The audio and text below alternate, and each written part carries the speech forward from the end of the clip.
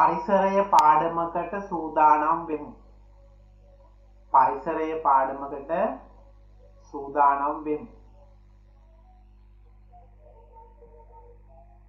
හොඳයි ගිය සතියේ අපි කරල තියෙන්නේ ආරක්ෂාව හා පරිස්සම කියන පාඩම නේද? එහෙම නේද?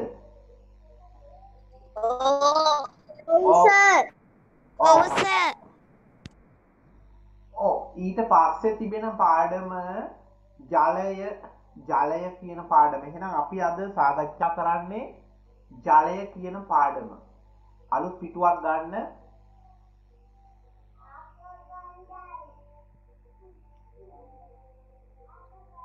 ජලය. පුතේ දැන් අපේ ලෝකය ගත්තොත් එහෙම පෘතුවිය මේකේ වැඩිපුරම තියෙන්නේ ජලය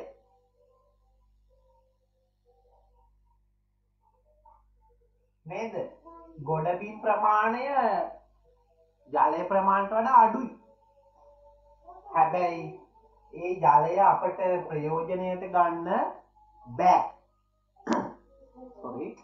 මොකද ගොඩක්ම තිබෙන්නේ ලුණු ජලය ඒ කියන්නේ මුහුදු වතුර. මුහුදු ජලය. ඔවු මුහුදේ තිබෙන ජලය අපට ප්‍රයෝජනයට ගන්න බෑනි. ඒ කියන්නේ පානය කරන්න ගන්න බෑනි රෙදි සෝදන්න ගන්න බෑනි. නේද? සීයට අනු හතක්ම සම්පූර්ණ ජලය සීයක් නම් මුළු ලෝකේම තිබෙන ප්‍රමාණය සීයක් නම් එයින් අනුහතක්ම තිබෙන්නේ ලුණු ජලය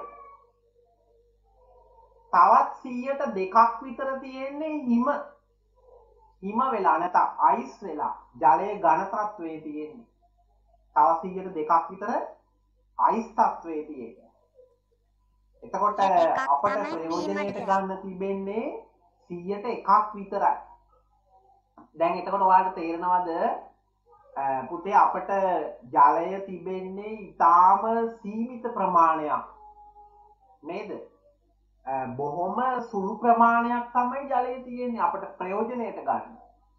සියට එකක් කියන සීයෙන් එක කෑල්ලයි. එක කොටසයි. තින් ඒවා තිබෙන්නේ ඔය ගංගා ඇලදොල නේද? හොකුණු ඒවයි තමයි තිබෙන ජලය. ඒ විතර අපිට ප්‍රයෝජනයට ගන්න තිබෙන්නේ. මුහුදු වතුරත් ගන්න බෑ.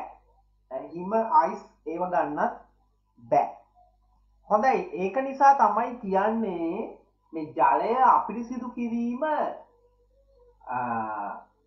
ඉතාම ලොකු විනාසයක් අත් වෙන දෙයක්. ජලය අර පිරිමැස්මෙන් භාවිතා කිරීම අද ලොකු අවශ්‍යතාවයක් පුතේ ඒක.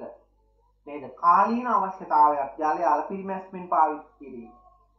දැන් විවිධ පාරසිරික විනාශයන් සිද්ධ වෙනෝනි. නේද? නියංගය නායයෑම් වගේ දේවල්. තින් ඒවයි මේ ජලවුල් පස් සිින්දී යම් සිද්ධ වෙනවා. ඒවගේම ගංගා වියලී යනවා. ඒවගේම නේද? ආහාර බෝගවර්ග වගා කරන්න බැරි තත්ත්වයකට උදාවෙනවා ඒවගේම මිනිස්සුත් ලෝකයේ එන්න එන්න එන්න එන්න මිනිස් ජනගහනය වැඩි වෙනවනේ නේද? ඉතින් ඒ වැඩි වෙන ජනගහනයට ජලය තව තව ඕන. වැඩිපුර ඕන ඉතින් එහෙමුණොත් එහෙම ජලය බෙතිබෙන ජලය තවත් අපි සිදුනොත් එහෙම මොකද වෙන්නේ? අපට ප්‍රයෝජනයට ගන්න තියෙන්නේ බොහොම ටිකයි.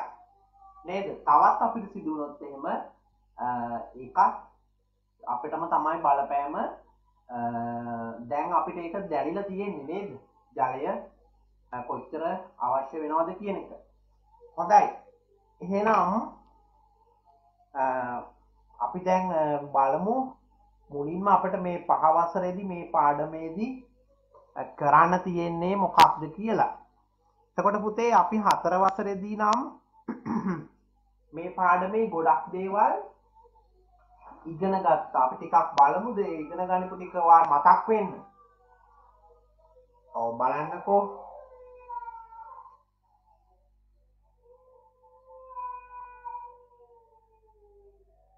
හරි ඔන්න අහගන්න.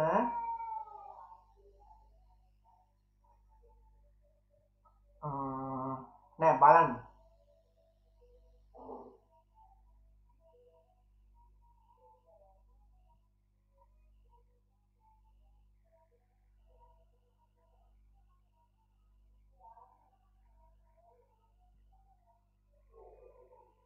හතර වසරේදී සහ පහ වසරේදී අ, ඉගෙන ගනිපුවා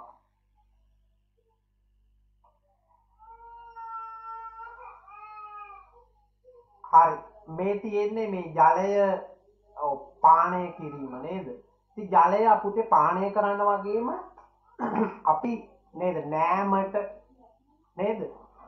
අ, යොදා ගන්න මේ කියන්නේ ජලය අපට අවශ්‍ය වෙනවා ජලයේ අවශ්‍යතාවය. නෑමට. සෙල්ලම් කිරීමට. නේද? පානය කරන්න. ඒවගේම ජලය තිබෙන තැනක් හරිම සුන්දරයි. ජලය තිබෙන තැන් හරිම සුන්දරයි. මේ බලන්න දියඇලි ගංගා නේ? පොකුණු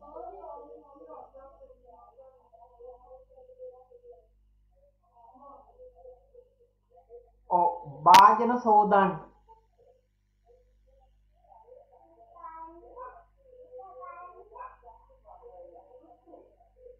ආ, මේ ජලය අපිරිසිදු කරන හැටි. බලන්නකු ජලය අපිරිසිදු කරන හැටි. නේද? අ, ජල ක්‍රීඩාවලට අපි ජලය යොදා ගන්නවා. අ, රෙදි සෝදන්න නාන්න.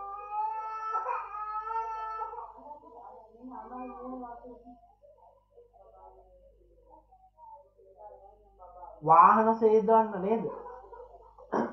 මේ වාහන සේදීමෙනු ජලය අපිට සිදු වෙනවා. පොළොව සෝදන්න.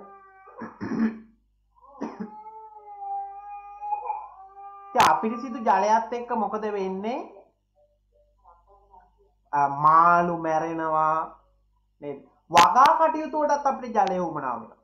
ගොවිතැන් කටයුතුවලට ආහාර ද්‍රව්‍ය තම්බා ගන්න ජලය ඕන ඇට වර්ග තම්බා ගන්න ජලය ඕන එළවලු තම්බා ගන්න ජලය ඕන ජලාශවලට ජලය ඕන නේ වගා කටයුතු වලට. මිනිස්සුන්ට විතරක් නෙවෙයි සතුන්ටත් ජලය අත්‍යවශ්‍යයි.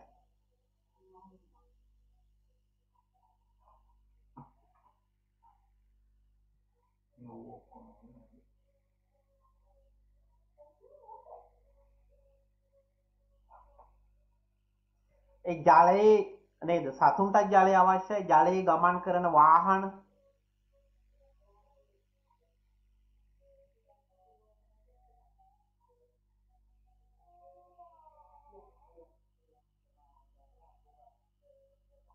සමහර රටවල ජලය හ- මහා මාර්ග වගේ. ජල මාර්ග හරියට මහා මාර්ග වගේ. බෝට්ටු වලින් මිනිස්සු ගමන් බිමන් යන පාරවල්. නේද? ගේ අ, හදලා තියෙන්නේ ඒ ජල මාර්ග වලට මුහුණ දාගෙන. මේ බාන මේ වගේ නතර ඒ වගේම ජලය තිබීමෙන් අ, පරිසරය තාම පිරිසිදු වෙනවා නේද? ජලය අලං මේ පරිසරය අලංකාර වෙනවා.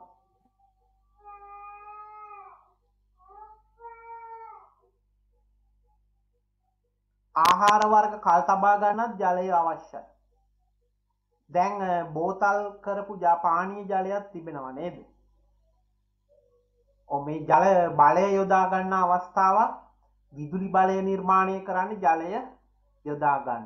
ද අපි මේ පාවිච්චි කරන විදුලි බලය අ, ජලය විදුලි බලය නේද? මේ විදි තමයි නිෂ්පාදනය කරන්න ටර්බයින් එකක් කරකවල හතර වසරදි අපි හැදුවනේ නේද? ටර්බයින් එකක්. අර යෝගට් පියන් වලි නෙද? ජලය අපිට සිදුවීමෙන් ඇතිවන විපාක. සත්තුන්ට තමයි ලොකුම හානි. ජලය ජීවත් වෙන සතුන් එහෙමනොත් අපට නේ ජලය අපිට සිදුවනොත් එන්න එන්න ජලය අපිට සිදු වෙනවයි කියලා අපි හිතමු. ඒ වගේම එන්න එන්න මිනිස්සු ප්‍රමාණයත් වැඩි වෙනවා. එහෙමුණොත් මොකද වෙන්නේ? අපට බොන්න වෙන්නේ අපිට සිදු ජලය. ජලය හිංග වෙනවා නේද? සොයාගෙන අපට යන්න වේ සැතපුම් ගානක් මේ විදිහට අපිට සිදු වෙන මේ නැව් වලින්. ඔව් මේ ජල පෙරණයක් ඔයාලා හැදුවනේ මතකද? මේකත් හතර වසරේදී හැදුවා. ගෙවල් වලත් මේ වගේ ජල පෙරණ යොදා ගන්නවා. ජලය පිරිසිදු කර ගැනීමට. නේද?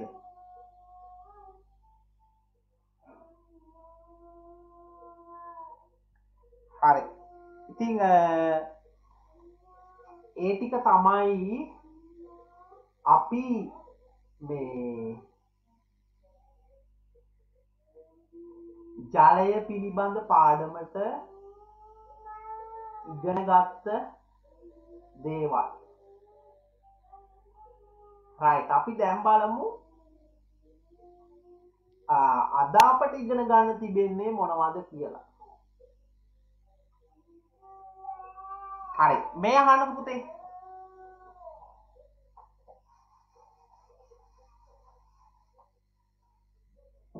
දැන් ඔයාලා මෙන්න මේක මට කියන්න පොඩ්ඩක් පුළුවන් නම් වීදුරුවකට ශීත බීම වක් කරන සීතල බීම වක් කරන්න. වක් කරලා ටික වෙලාවකට පසුව වීදුරුව පිට පැත්තේ. තෙතමනයක් ඇති වෙනවා. ඒ කියන්නේ නිකන් වතුර වගේ තියෙනවා. වීදුරුව පිට පැත්තේ.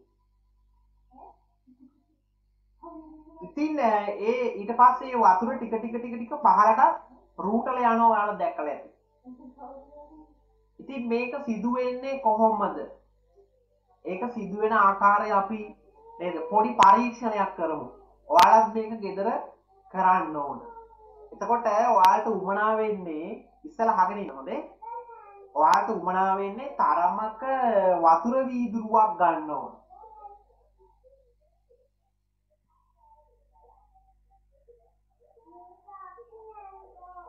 ඕක ඇඳ ගන්න ඕනද පොතේ? නෑ අහගෙන ඉන්න තරමක වතුර වීදුරුවක් ගන්න. හරි. මෙන්න වතුර පුරවල තියෙන්නේ තරමක වතුර වීදුරුවක් අරගෙන අපි ජලය පුරවන භාගයක් විතර. නේද? ඊට පස්සේ එම ජලයට නිල් පාට තීන්ත බින්දු කීපයක් දානවා. මේකට නිල් පාට තීන්ත බින්දු දාන එතකොට සම්පූර්ණ ජලයම නිල් පාට වෙනවා. තේරුණාද? දැන් වීදුරුව මේ පිටපැත්ත හොඳින් මේ පිහිදාන්න ඕන. වීදුරුව පිටපැත්ත තෙතමනේ අයින් කරන්න. කියන මොන හරි වතුර වගේ තියෙනවා ඒ ටික හොඳට පිහිදාලා දාන්න. තේරුණාද? හරි. ඊට පස්සේ මොකද්ද කරන්න ඔයාලා? වීදුරුව නිල් පැහැ ජලයට දානවා අයිස් කැට මොනවත් දාන්නේ? අයිස් කැට දාන්න අපි හිතමු මේ තියෙන අයිස් කැට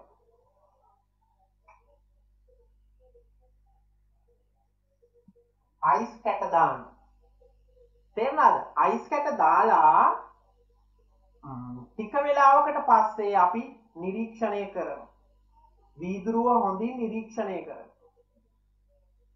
රයිට් මොකද වෙන්නේ? හරි දැන් අඳින්න පටන් ගන්න අපි මාතෘකාවක් අඳින ගමන් කල්පනා කරන්න මොකද වෙන්නේ කියලා. හරිද?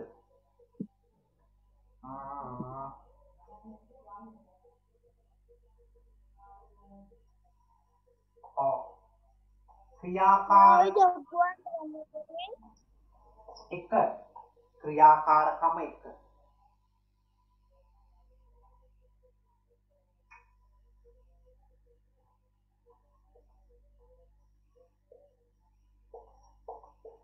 වීදුරුව මේ ඇතුළේ තියෙන මොනවද? සර් රූප සටහන ඇඳ ගන්න ඕනද? ඔව් ඇඳ ගන්න. නිල් පැහැති ජලය. ඔව් මේ මොනවද තියෙන්නේ? ice scatter. ice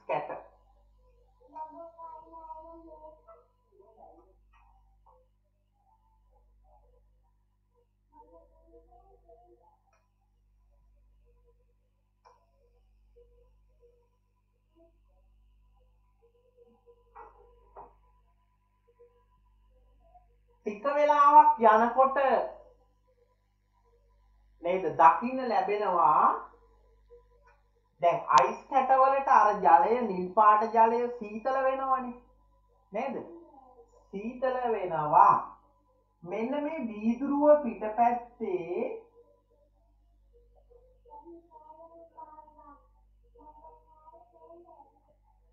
අර තෙතමනයක් දකින්න ලැබේ පුතේ. චූටි වතුර බින්දුව අපිට ඇහැට පේන්නේ නැති පොඩි වතුර බින්දුව පල්ලෙහාට මෙහෙම වතුර බින්දු ටික යනවා. නේද?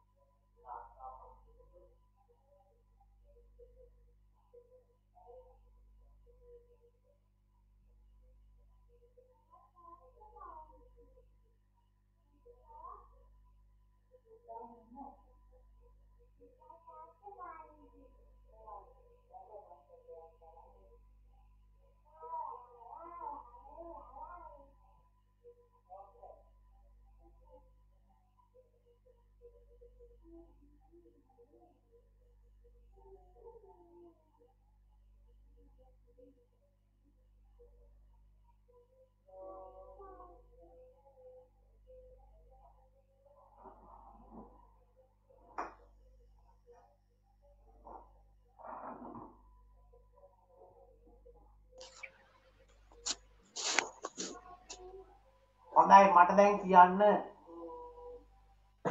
පද්ද වෙන්නේ.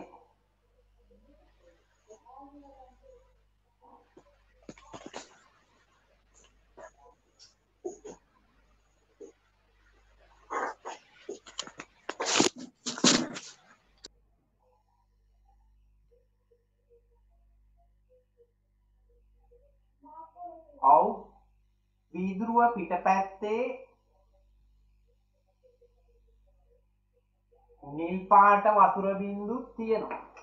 මේ නිල් පාට නෙවෙයි වතුර බින්දු තියෙනවා. නේද? ඇයි එහෙම වෙන්නේ? ජලය. වීදුරුව පිටපැත්තේ ජල බින්දු තෙතමනයක් තියෙනවා. මං අහන්නේ ඇයි එහෙම වෙන්නේ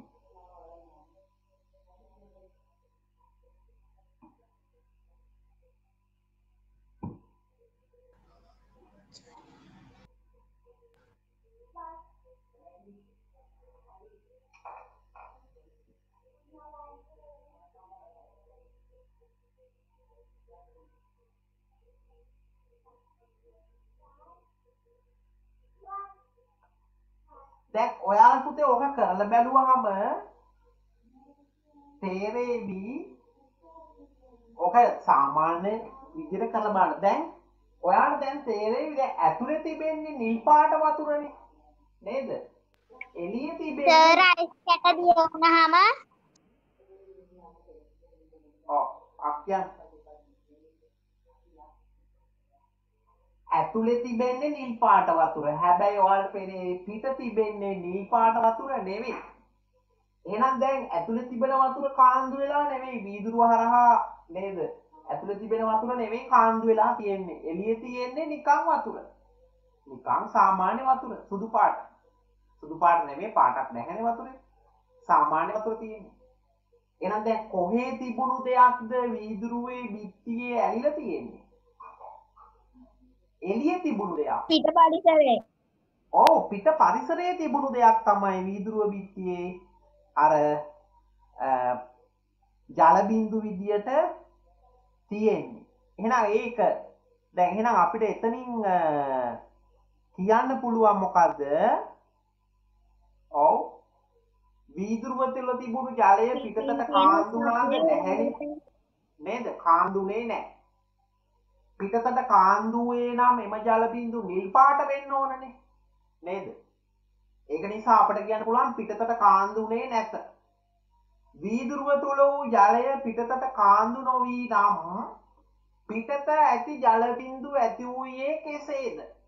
කොහොමද පිටත තිබෙන ජල බින්දු ඇති වුනේ? ඔන්න ප්‍රශ්නයක් තියෙනවා දැන්. ඔව් පිටත ජල බිඳු ඇතිවීමට නම් පිටත ජලය තිබිය යුතුයි. නේද? ඇයි? වීදුරුව පිටපැත්තේ ජල බිඳු තියෙන නම් මේ පිට ජලය තියෙන්න ඕනනේ. ආ ඔන්න දැන් හිතලා බලන්න ඔයාලා කොහෙද තියෙන්නේ මේ ජලය? හ්ම් අවට පරිසරය. අවට පරිසරයේ හරි දැන් ඔන්න මේකයි පුතේ වෙන්නේ වීදුරුවට අපි අයිස් කැටයක් දැමීමෙන් මොකද වෙන්නේ එම ජලයේ උෂ්ණත්වය අඩු වෙනවා අයිස් කැටයක් දැම්මම මේ නිල් පාට වතුරේ උෂ්ණත්වය අඩු වෙනවා. උෂ්ණත්වය. කියන්නේ රත් වෙලා තිබෙන ප්‍රමාණයනේ සීතල වෙනවා ඒක අපි කියන්නේ සීතල වෙනවා. තියෙනවට වඩා සීතල වෙනවා. උෂ්ණත්වය අඩු වෙලා සීතල වෙනවා. එම සීතල වීදුරුවේ පිට පැත් ඔව් ඒ සීතල වීදුරුවේ පිට පැත්තටත් පැතිරෙනවා. තේරුණාද? දැන් මේ අයිස් කැටවල සීතල වීදුරුවේ පිටටත් මේ වීදුරුවටත් දැනෙනවා. වීදුරුවේ පිට පැත්තටත් යනවා. සීතල යන්නේ හොඳද? හරි දැන් මොකද වෙන්නේ? වීදුරුවේ පිටතින් අවට වාතයේ තියෙනවා ජල වාෂ්ප. නේද? අවට වාතයේ ඇති ජලය බිඳු ආකාරයෙන් සිසිල් නැත්තම් සීතල වතුර වීදුරුවේ මත තැන්පත් වෙනවා. ඒක තමයි වෙන්නේ. පසුව එම බිඳු මොකද වෙන්නේ? එකතු වෙලා පහළට රූටනවා ජල බිඳුවක් විදියට. තේරුණාද? ඔන්න නැවත අහගන්න. අයිස් කැට දැම්මහම මේ වතුර සීතල වෙනවා, සිසිල් වෙනවා.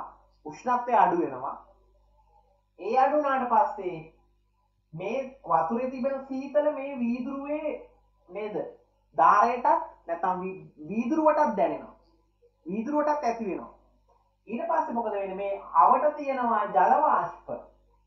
ඒ ජල වාෂ්ප සීතල වෙලා නේද? මේ වීදුරුවේ පිටතට ඒව ගෑවෙනවනේ. ඒව සීතල වෙලා තමයි මේ විදිහට තෙතමනයක් ඇති වෙලා මේ වතුර පහළට රූටන්නේ. තේරුණාද? මේම කරන්න ඕක මේක සරලව ෆ්‍රිජ් එක ඇරලා වතුර වීදුරුවක් ගන්නකො අයිස් මේ සීතල වතුර වීදුරුවක් මේ මේ වතුර බෝතලයක් අරගෙන ටිකක් වෙලා තියලා තිව්වහම ඔයාලට පෙනේවි. අර නේද? පිටපැත්තෙන් ජලය රූටනවා ඒ වෙන්නෙත් ඒකම තමයි. ඇතුලේ තිබුණු වතුර නෙමෙයි එළියට ආවේ. නේද? උෂ්ණත්වය අඩු වෙලා නේ? උෂ්ණත්වය අඩුවුණහම ජලය වාශ්ප ගණ බවට නේද? ජලය බවට පත්වෙන තේරුණාද? හොඳයි.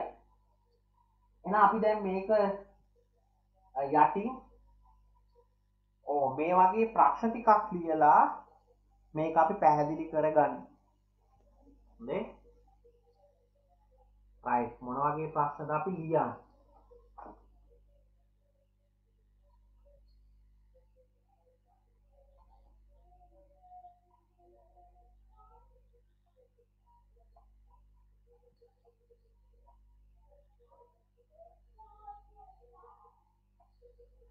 හරි. මෙන්න පළවෙනි ප්‍රශ්නයක් මම අහන ඔයාලගෙන්. ලියන්න ඔයාලා.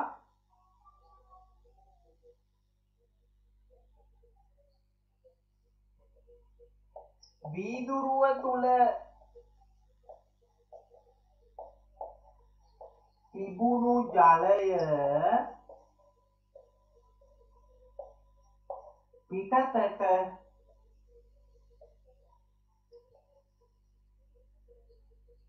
කාන්දු වූයේද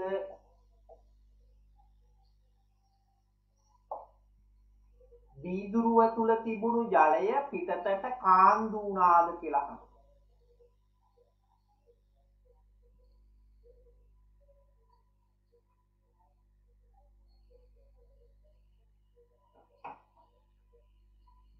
ඔයාලා දෙන උත්තරේ ලියන්න බලන්න.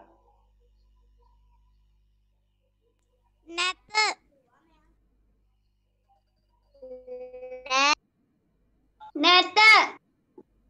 නැත නැත. නැත.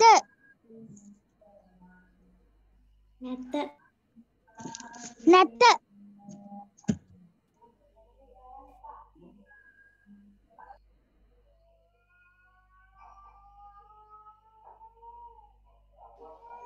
නැත.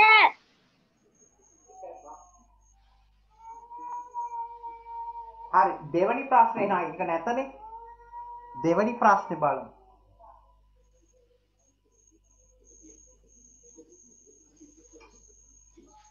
ඔව් දෙවනි ප්‍රශ්නේ ඔයාලා යටින් ලියන්න මම උඩින් ලියන්න ඉඩ නැති නිසා.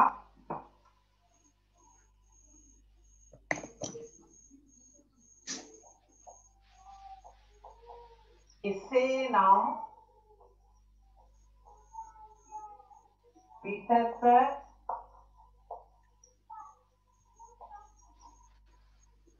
ජල බිඳු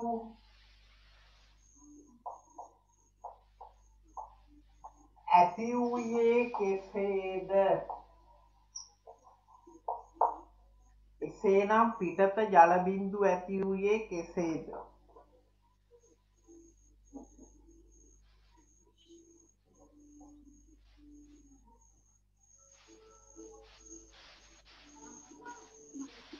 අවට වාතයෙන් නැත්ත පරිසරයේ ඇති ජල බිඳු උරා ගැනීම.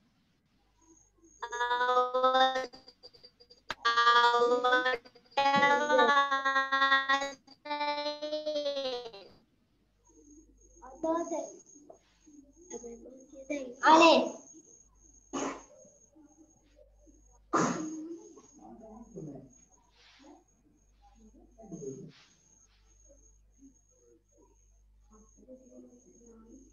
අවට පරිසරයේ වාතයෙන්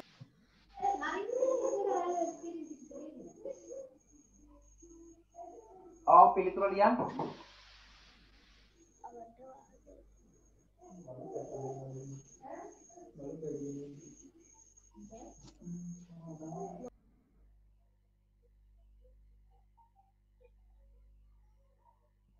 කොහොමද පිළිතුර ලියන්න වෙන්නේ?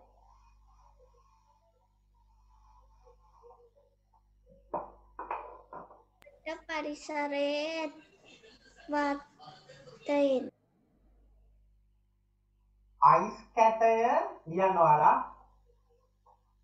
අයිස් කැටය දැමීමෙන්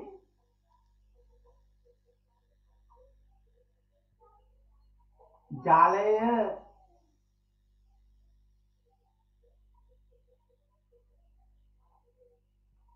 අයිස් කැටේ දැමීමෙන් ජලයේ ජලයේ උෂ්ණත්වය අඩුවීම.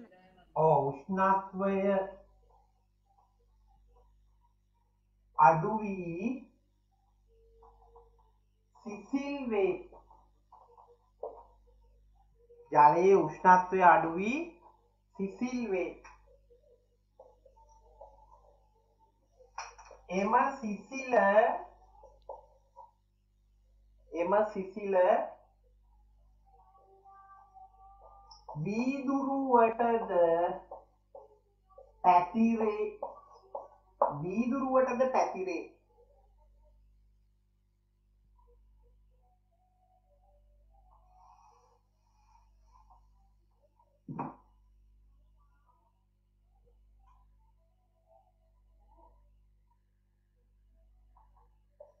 අවට වාතයේ අවට වාතයේ ඇති ජලය අවට වාතයේ ඇති ජලය බින්දු ආකාරයට බින්දු ආකාරයට සර් ඔක ලියා ගන්න ඕනද? ඔව් ඔව්. වීදුරුව මත තැන්පත් වේ වීදුරුව මත තැන්පත් වේ.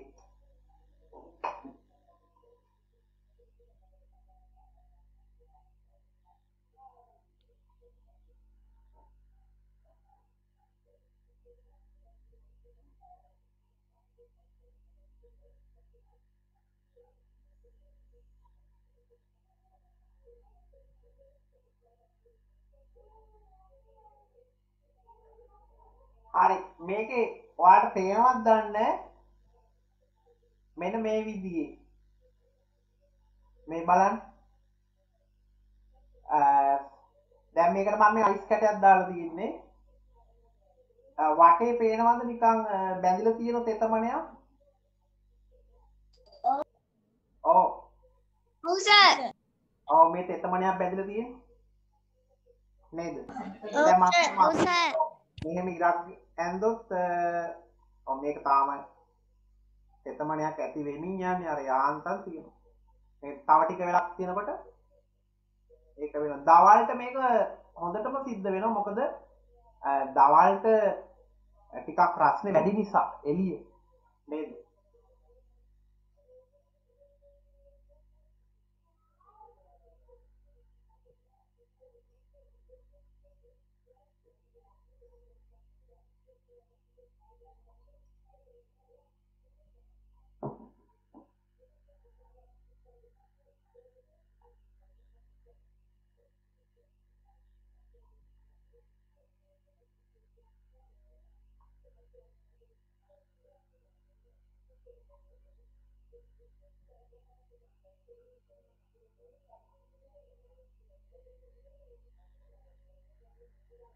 එහෙනම් පුතේ අපි මේකෙන් ඉගෙන ගත්තේ අ, ජලයේ උෂ්ණත්වය අපි වෙනස් කරා.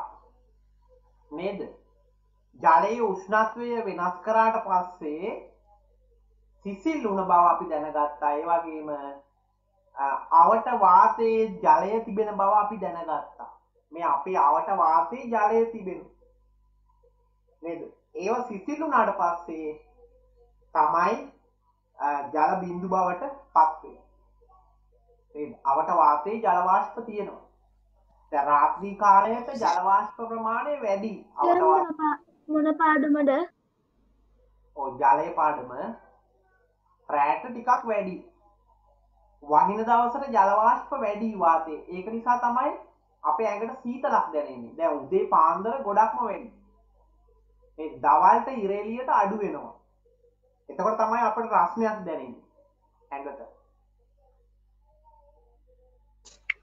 සර් බෝඩ් එක පේන්නේ ඇයි? පේනවා සර් පේනවා පේන ඔයාට මේ ෆෝන් එකෙන් හදාගන්න. පේනවා සර් පේනවා සර්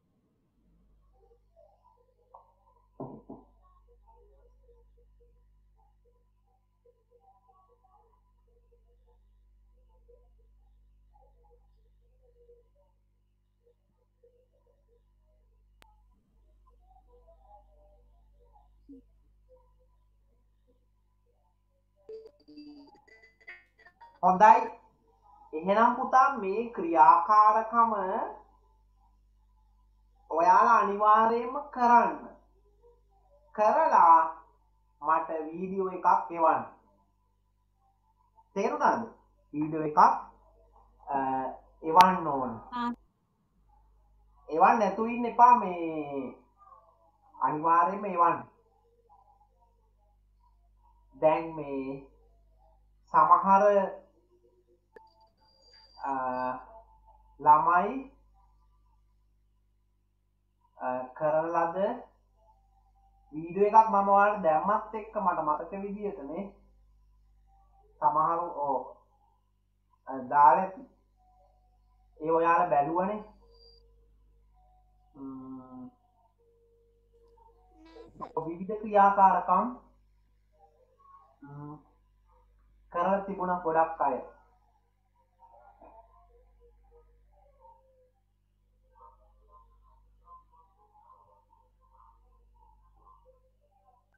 දැන් මේක බලන්න මේ ළමයි කියපු වීඩියෝ එකක්. දැක්කද? හතර වසරේදී අපි මේ වීඩියෝ එක මේ මේ මේ ක්‍රියාකාරකම කරානේ මෙන්න හතර වසරේ මල්ලි කෙනෙක් කියපු වීඩියෝ එක.